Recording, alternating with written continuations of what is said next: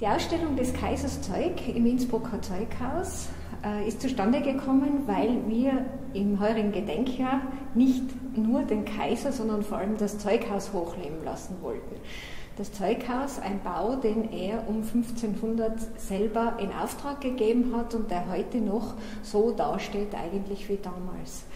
Äh, die Ausstellung zeigt äh, die Geschichte, die Baugeschichte und auch Geschichten zum Zeughaus und man kommt dabei in Räumlichkeiten, die man normalerweise äh, gar nicht sehen kann.